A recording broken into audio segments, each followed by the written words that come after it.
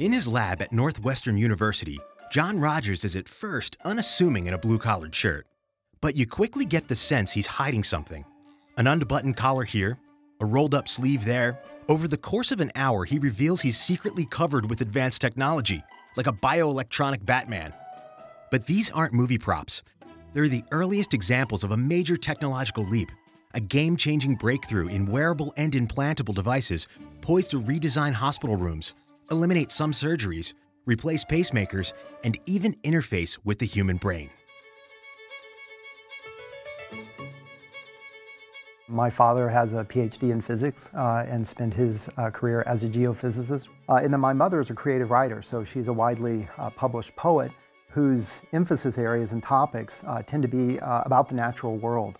For Rogers, growing up in Houston influenced by science and art provided a certain perspective, an eye for function and appreciation for possibility. Years later, as a researcher at Harvard, he quickly grasped the importance of materials science. Sort of surrounded in materials and materials innovations. The field's blend of physics, chemistry, and engineering is responsible for incredible things. For example, Rogers once worked on flexible digital displays that roll up like newspapers. And in fact, when several neuroscientists approached him about this work, Rogers began the research that would change the course of his career. And they said, Have you ever thought about taking your flexible electronics and putting it on a brain? We'd like to be able to map neural activity. Electrically mapping the surface of the brain could lead to major breakthroughs in neuroscience, but to do it, you'd need to cover the brain in dense electric circuitry. Rigid silicon microchips just wouldn't work.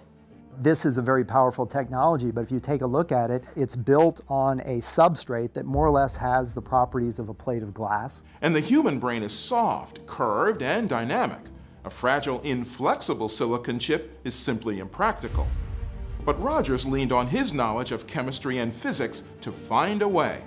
The result was a novel, flexible electronic technology that enabled the creation of advanced bioelectronic devices with seemingly limitless applications. So this particular device is designed to go on the chest of a neonate, in particular premature baby. This heart monitor consists of electronics layered into special polymers. They stretch, flex, twist, and integrate with the human body. The heart monitor adheres to skin using atomic forces instead of irritating adhesives. It captures EKG signals and sends the data to a smartphone or tablet. And it works without batteries. A pad beneath the mattress broadcasts harmless radio waves that the device uses to harvest electricity from the air. This invention alone replaces bulky monitors, wires, and electric leads for the most fragile of patients. But there's more. Another device encases the heart like shrink wrap, stretching and compressing with the heartbeat. It can detect an arrhythmia and correct it before a heart attack occurs. Engineered to last an astonishing 500 years inside the conditions of the human body, it has the potential to replace common pacemakers and eliminate replacement surgeries. The list goes on. There's Rogers Sweat Analyzer Patch, capable of detecting hydration levels and electrolyte loss. It received a major commercial launch in December of 2018 in partnership with Gatorade. And finally, working with the cosmetic company L'Oreal, Rogers invented a battery-free ultraviolet dose detector so small you can wear it on your finger now to gauge your sun exposure. Rogers' device is battery-free and powered by the very UV light it detects. In science, the most powerful new discoveries alter our surroundings, create new opportunities, and change lives for the better.